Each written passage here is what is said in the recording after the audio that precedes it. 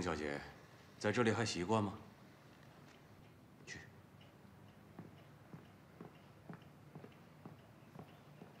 考虑的怎么样了？我早就考虑好了，跟一开始说的一样，我是绝对不会跟你们合作的。你不要再这么执迷不悟了，我的忍耐也是有限的。我的态度是明确的，请你出去。人这一辈子。很短，你难道真的就想这么走了？这是我的信仰，至死不渝。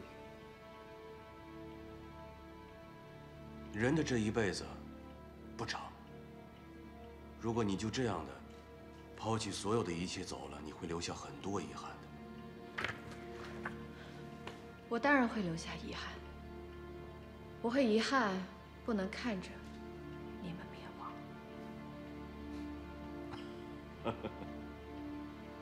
我真的很想知道，你走上刑场的那一刻，你这个大小姐是不是还一样的坚持你的信仰？我已经不是什么大小姐了，我是一个革命者。革命者，他是不会改变的。好吧，不要浪费我们自己的时间了，赶紧带我去刑场吧。如果不是你，换了别人，我早就把他枪毙了。我们是看在你父亲的份上，不愿让他白发人送黑发人，因为他毕竟为党国辛辛苦苦尽忠了几十年。尽管你不知悔改，我还是想给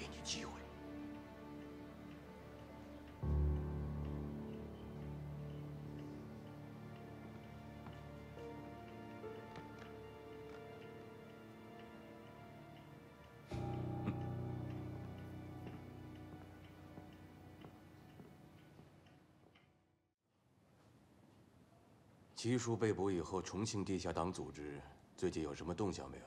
城内一直没有监测到发报信号。如果他们要把这个消息发出去，那用的应该也是城外的电台。所以这几天监测车一直都在城市的近郊区在巡视。我一直在派人监视恒益百货，王振川还是每天照常进货出货。郑权被捕这件事情似乎对他没有影响。属下认为，王振川跟他们没有关系。结论下的还是有点早，该盯着的还是要仔细盯着。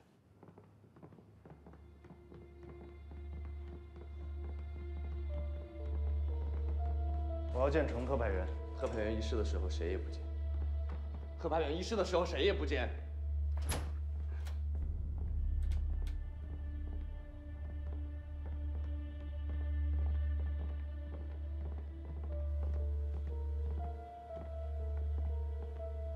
见我，不是我们，是我。袁飞有些冲动，请您见谅。我没有冲动，我已经考虑好了，不论承担什么样的后果，我都要见到证据。你胆子很大呀，你知道郑权什么身份吗？我不管他是什么身份，我只知道他是我的小军姐。当初你不考虑后果，私自将萧琪夫妇下葬，那时候叶祥之就说过你是个有情有义的人。这么长时间都过了，你还是没变。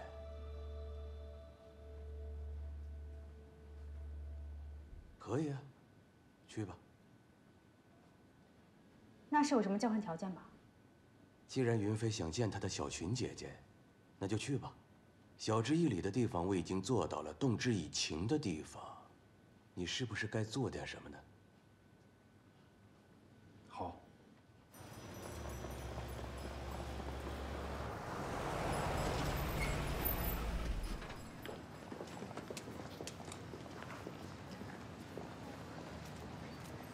我就不进去了，你们好好叙叙旧，千万别冲动。长官，请您配合我们的检查。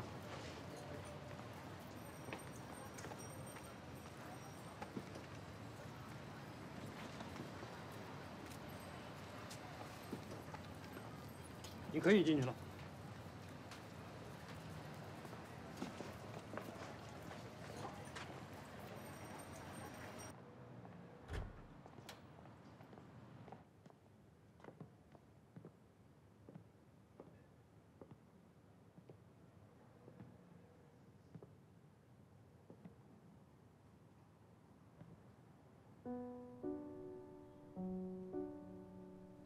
姐姐，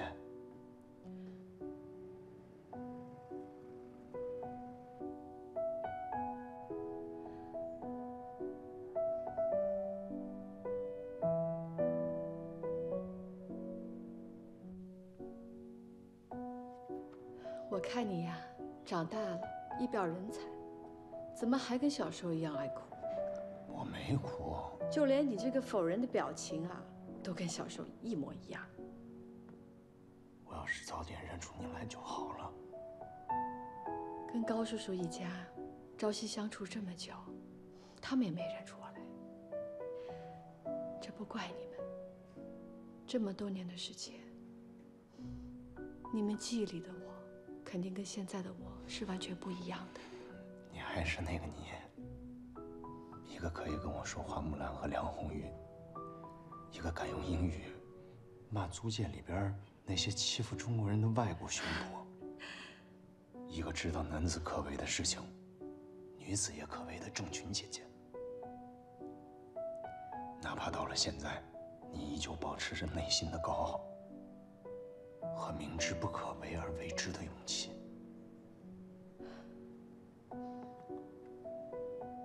所以，那些想让你带话的人的话，你就不要说了。我知道，你也不愿意用这些话，玷污了我们姐弟之间的情分，还有我的信仰。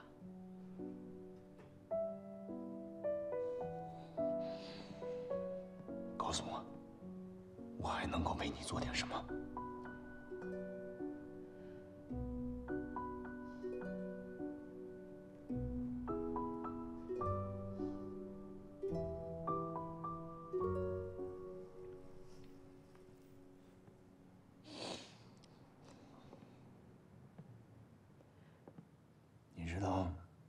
是谁住在这个房子里吗？萧七和珍珍是我们的好同志，还要谢谢你，能让他们两个长眠在一起。所以我不想再眼睁睁的看着亲近的人飞蛾扑火了，那种感觉真的太无力了。飞蛾扑火，是因为有光。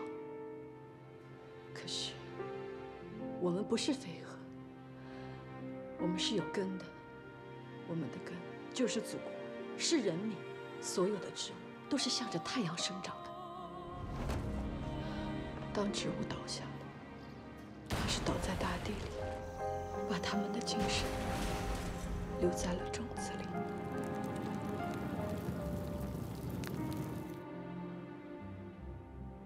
啊，对了，你带相机了吗？想请你帮我拍张照片，好留给我的父母还有亲人。嗯，好了，怎么着？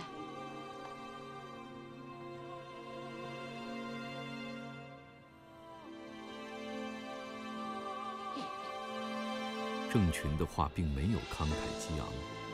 但是每个字都敲打着赵云飞的内心。他知道这个姐姐像他见过的其他共产党人一样，为了信仰，已经把生死置身事外。他内心的那颗种子正在急速的发芽生长。他看到了大树，他渴望见到那片森林。在等待相纸渐渐显影之时，赵云飞的泪眼里浮现出沈洁、琳达、萧琪和珍珍的面容。所有人眼中都有着同样的光芒，一切的光芒最终由模糊而清晰，此刻都汇聚于郑群的双眸。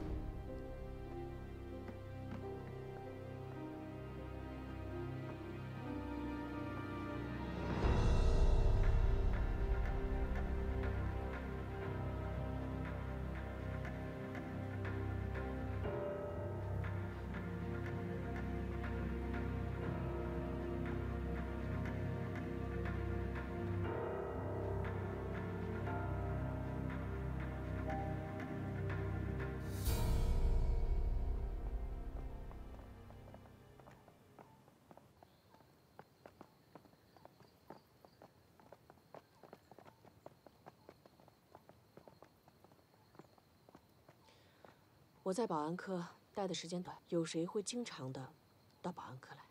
经常来的，一般都是报案的和提供线索的，这个不太好统计。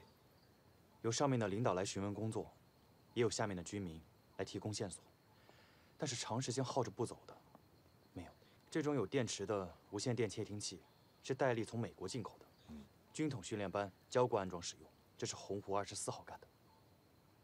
那么这个洪湖二十四号。肯定也是通过窃听的方式，得知季民已经暴露，所以杀他灭口。对，以确保他能够继续潜伏作恶。看来三零三去重庆的机密，也是通过窃听的手段。我们必须尽快捉住洪湖二十四号，不然后面造成的破坏会更大。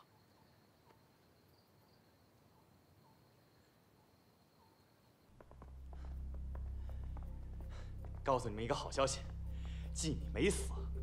什么？他没死啊？子弹偏离心脏一点点，侥幸捡了一条命，而且医生讲了，如果恢复的好，他很快就可以讲话。只要他能够开口说话，我相信他会把真相全部都说出来的。我相信金敏一定是看清楚凶手，这回不会再包庇他。金明了，安保工作做好了没有？放心吧，石佩英的悲剧不可能再发生了。这件事情除了我们知道。没有任何人能想到，季米会在太平间做手术。而且我告诉医生，在他开口说话之前，二十四小时寸步不离。战士们配备了足够的弹药，四个人轮班，轮流保护他。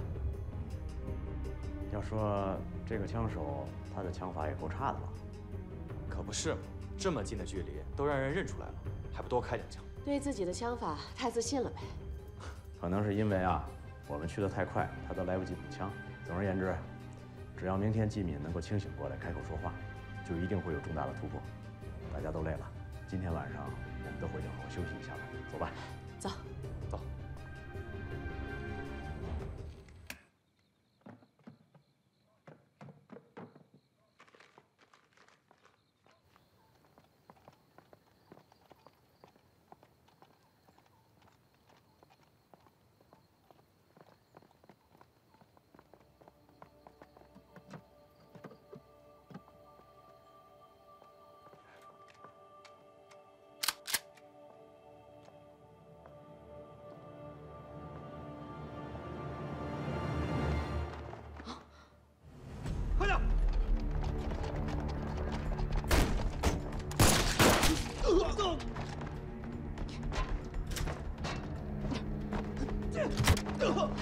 别动！别动！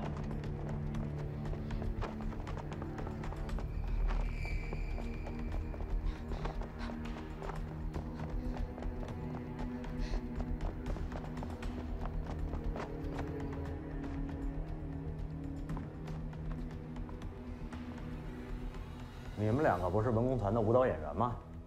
怎么当特务了？别杀我们，我们是二十四号新发展的人，我们只听从二十四号的安排。三零三去重庆的事儿，你们怎么知道的？二十四号窃听到三零三要去重庆布置工作的秘密，又从季敏那里得知了三零三出发的时间，是他给南京发的情报。刚才从窗户跳出去的就是二十四号。是是。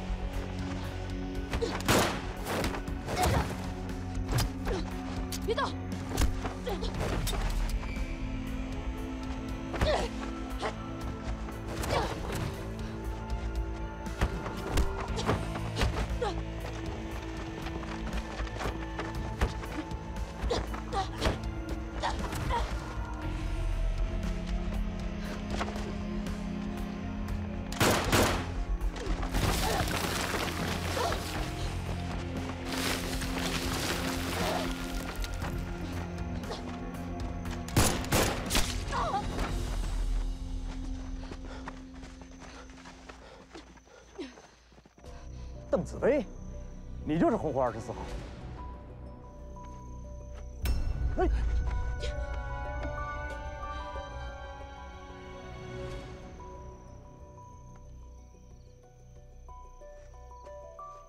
哈达保安科找我说，他排了一个保卫胜利果实抓特务的节目，让我去给他看看，提提意见。窃听器，我估计就是那会儿他伺机装上的。这可能就是军统所谓的杀身成仁吧。可惜没有能够早点抓住他，要不然三零三同志就不会牺牲，七叔也不会落入敌人之手。李大同志，你也别太自责了，组织上已经在尽全力营救七叔了。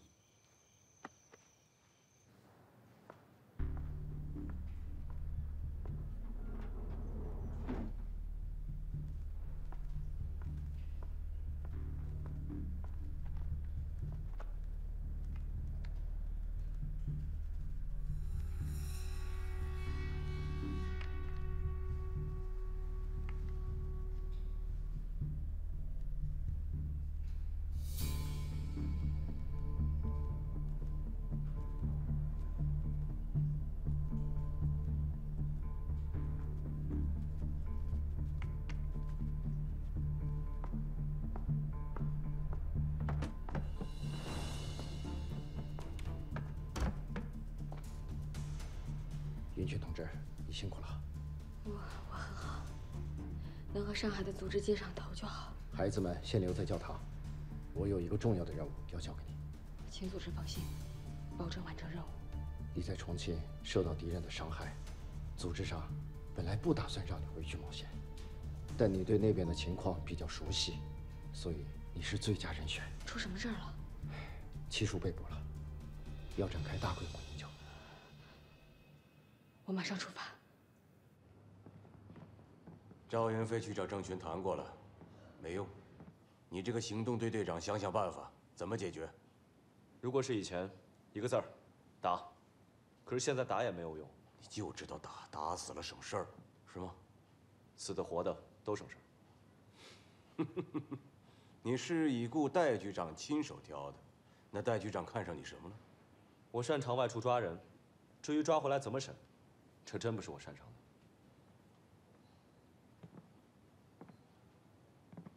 哎你以前呢是个打猎的，打猎的打完猎物不是杀了，就是放了。那要不咱们把他杀了？这么大个共党要犯，我不敢。那要不咱就把他放了？这我也做不了主。劝降郑群的事，我倒有意见，不如您听听。说，以前打猎的时候，有些缺德的猎人会拿幼崽当做诱饵，然后引出大的杀掉。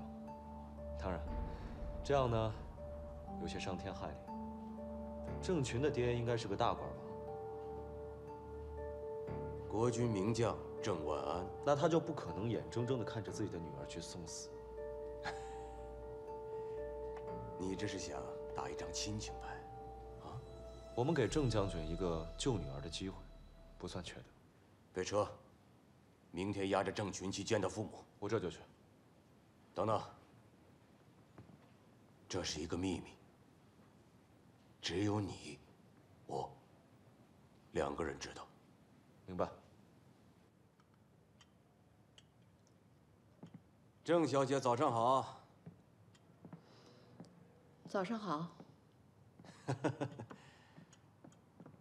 怎么样，早餐还算满意吗？虽然比不上你在法国时候的感觉，但这已经是重庆最好的了。早餐是不错，不过不是每个中国人都能享用得到的。你看看你们怎么治理中国的？多少人无家可归，衣不遮体，卖儿卖女，沿街乞讨。这种民不聊生的状况，难道你们都不自问吗？我们今天先不讨论民生。我来呢是想告诉你一个好消息，我今天将亲自陪同你回贵州，去看望你的父母。啊谢谢，你可真够周到的。我和你的父亲郑将军通了电话，他非常激动。自从你十几岁和你的哥哥出国留学到现在，有将近十年的时间没有和家人联系了吧？我的父母，他们好吗？说真话，你的父母想你都想疯了。尤其是你的母亲，长期体弱多病，每天都在盼着你的消息。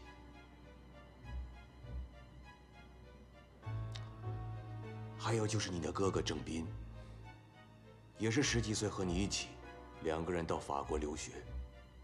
因为找不到你，自己都觉得没有颜面回家。我自己的选择，跟我哥哥无关。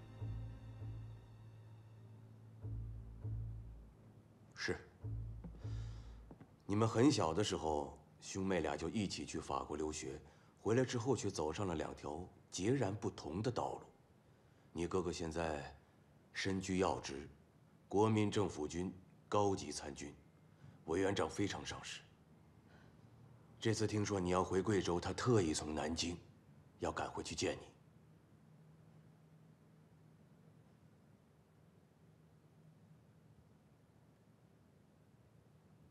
那我们什么时候走啊？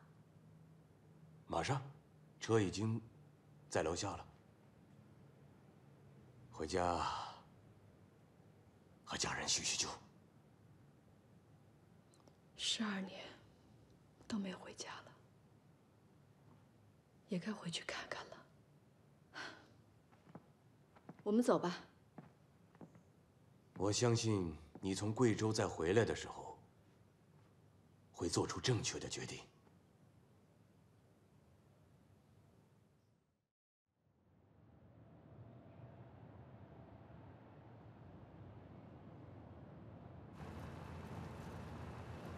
前面这几条街一直这么堵吗？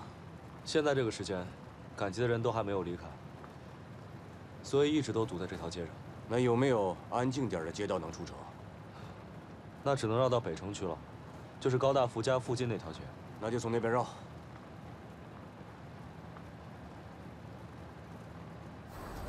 前面就路过高大福家了，你在他家里三年，不想进去告个别吗？我在高家只是个佣人，他们也不知道我的真实身份，但愿别给他们添麻烦。算了，不去了。哦，在前面的百货店听听吧。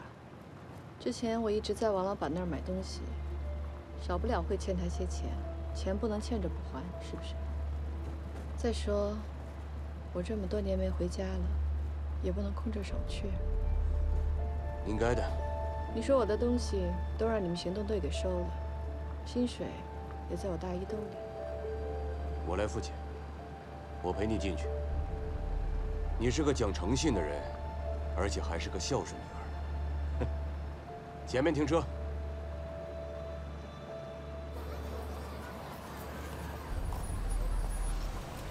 哎呀，法棍面包。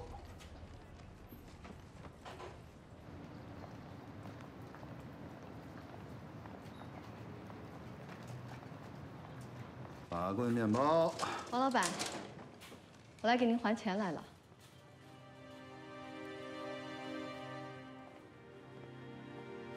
您这差点没认出您来，这点小钱您还惦记着？那哪行？欠的钱得还呀。您真客气。你看这些钱够吗？哎呦，太多了，没那么多呀。收着。哦，我明白了，吴嫂，您肯定是找了一好人家啊。这位先生一看就是个大老板啊。小群，不是要买东西吗？赶紧买了，咱们好上路。哦，您要买什么？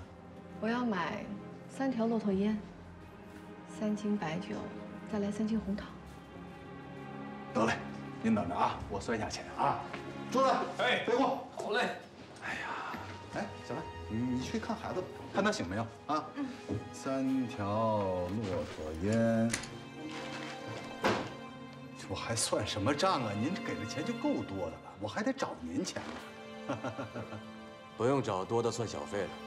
哎呦，那太谢谢您了，您 好吧，这是您的烟和酒，您的红糖，拿好啊。王老板，哎，咱们这就再见了。你是个好人，我会为你们烧香祈祷，祈祷你们的生意越做越大。得嘞，谢谢您。我走了。好，慢走，再见，慢走。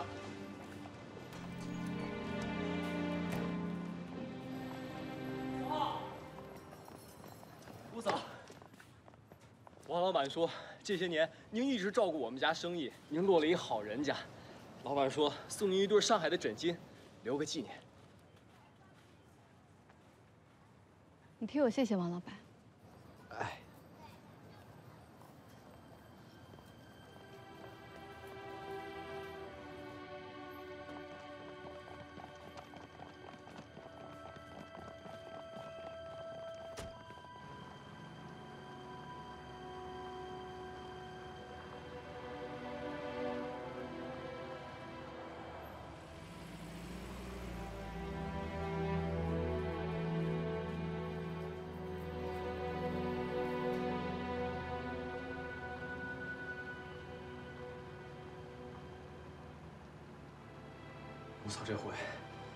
凶多吉少了。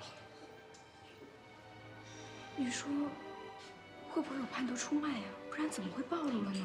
那我们以后还能见到吴嫂吗？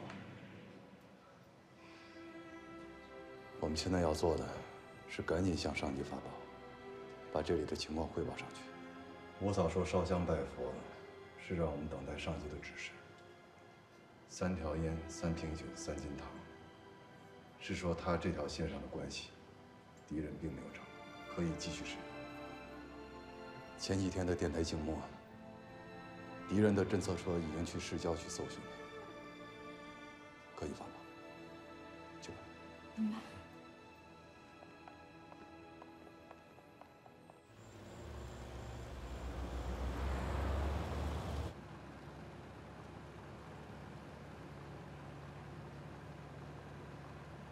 郑小姐，马上就要到家了，心情不错吧？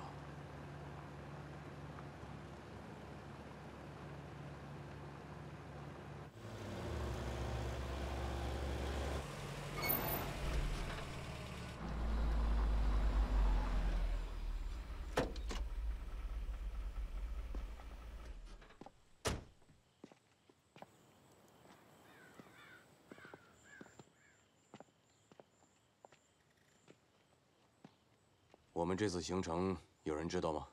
放心吧，没人知道。天黑找地方住下来，不走夜路。明白。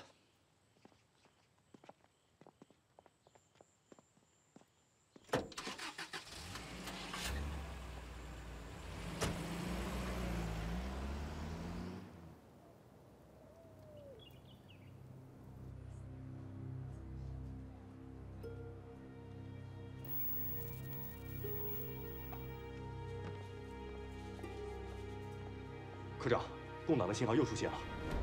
我们一直在市区周边寻找，但一直没有找到信号。郑群刚被押走，共党的电台又开始活动了。郑群的车又经过了哪些地方？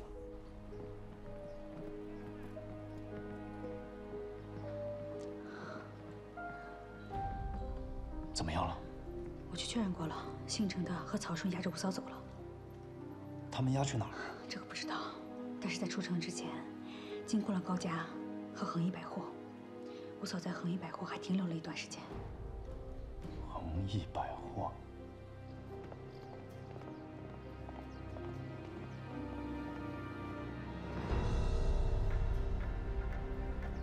庄美娇的人。算了，我们先不去给王老板添麻烦了。等这些盯梢的人都走了，我们再去问吧。我们现在去的话，庄美娇肯定会去告。不过我现在不在乎了，别说你不想干，连我也不想为他们效力。对了，最近都在让你忙着帮我打听郑群姐姐的事，你父亲的事查的怎么样了？保密局现在打探不出什么消息。王仁凤最擅长的，就是让真相消失。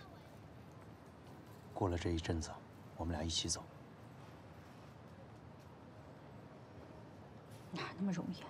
保密局现在只进不许出，不会那么轻易放我们走的。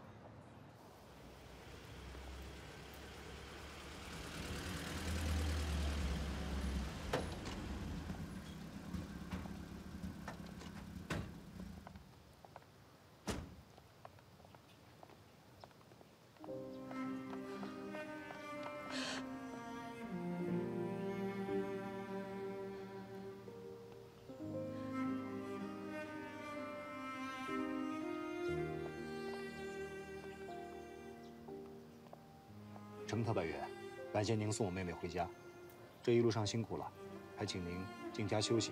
我父亲在等您，既然到这儿了，不会出什么岔子的。有你做保证，我很放心。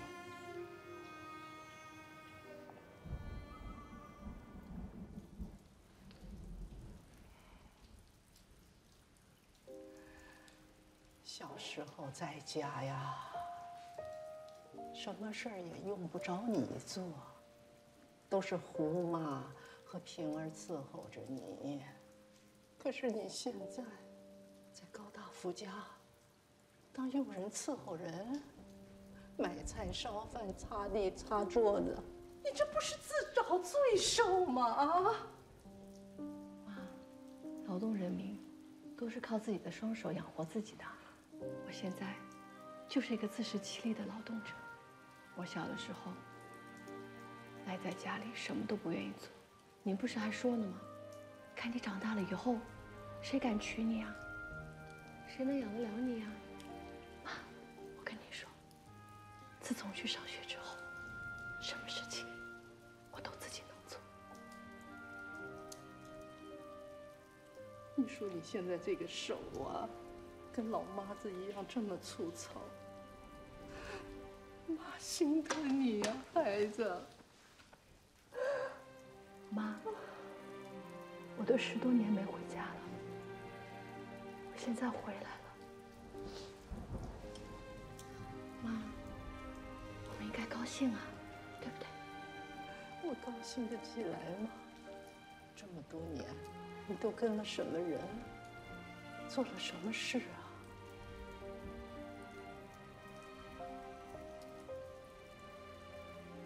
妈，这外面的事情，说了您也不懂的。反正您就记住，女儿是为了大多数的穷苦百姓做事。穷苦百姓，你操什么心呢？那不是有国民政府了吗？国民政府就是百姓穷苦的原因啊。妈，您该休息了。父亲在书房等小晴呢。去吧，听你爸爸怎么跟你说。放心，我会听爸爸的。妈，你要好好休息啊！啊，我要能休息的好呢。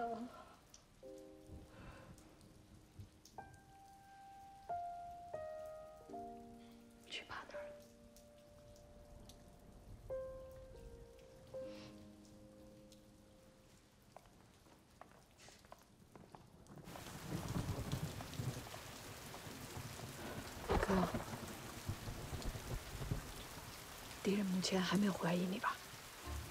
目前我还安全，只是我已经接到上级的指示，随时要准备撤到解放区。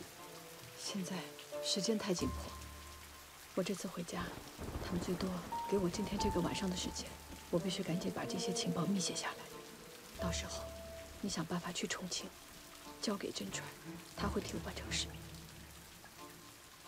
王振川没有暴露，目前他还没有暴露，但是从押来的三零三同志已经牺牲了。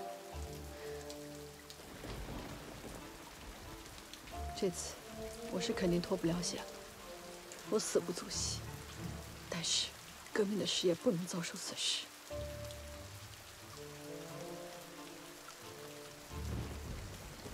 好，我一定为你办好这件事儿。我非常敬仰您，但我也只能给您二十四小时的时间。能不能救郑小姐的命，就看您的了。有这么严重吗？好吧，我给蒋委员长写信，小女幼稚，参与政治，望给他个机会。恐怕不是幼稚这么简单吧？您女儿是重庆地下党组织的重要负责人，是重犯要犯，如不弃暗投明，死刑是免不了的。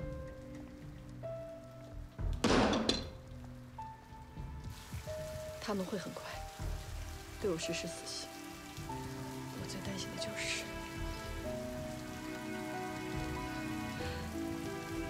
爸爸妈妈接受不了这样的打击，家里的事情就全靠你。你要替我跟二老尽孝。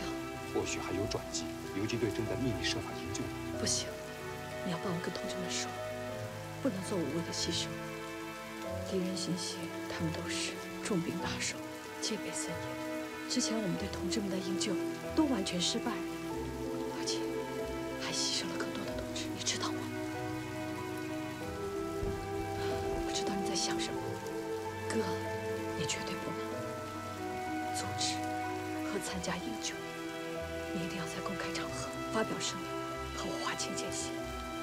牺牲我一个人不会有什么损失，但是你很重要，你一定要保住你在参军处的位置。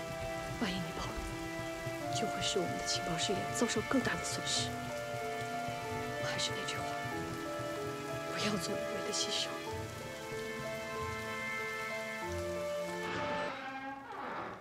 爸，小军回来了。爸，小群，你十二年没回家了，我和你妈想你都想白了头啊！你好不容易回来了，难道还让我和你妈白发人送你黑发人吗？对不起，请你原谅女儿。咱们现在还来得及，只要你宣布脱离共产党，把你知道的事情都告诉他们，就一切都没有事情了。党国一定会赦免你的。爸，我是不会背叛我信仰的共产党，我更不会背叛和出卖我的同志们。你以前不是说过吗？自古以来，两国两军交战，最恨的就是叛徒。您的女儿是绝对不可能背负叛徒的罪名的。这些道理爸爸比你清楚啊，可你不背叛徒之名，你可连性命都保不住了。你是军人，沙场之上，随时可能献出生命。马革裹尸，生死兵打仗那天起呀，我就将生死置之度外了。可是你，是我唯一的一个女儿啊，你还这么年轻，我怎么能眼睁睁的看着你将去送死啊？从我参加共产党的那一刻开始，我就有了我自己的使命，我也将我的生死置之度外。我和日本人是为了一个国家而作战。可你的敌人在哪儿呢？您是个英雄，您是为了国家还有民族而战，我跟你一样，我也是为了我们的国家而战。抗战胜利之后，蒋介石为了庆祝共产党，不惜发动内战，这给国家和人民带来了多大的灾难！虽然我跟您不在同一个战线上，但是我在我秘密的战线上，也同样在与腐朽做斗争。共产党就让你那么着魔吗？连死都不怕？共产党让我可以视死如归，是因为我们共产党人坚定不移的心，那是因为我们坚持奋斗的决心，是为了建立一个人人都平等的社会主义新中国。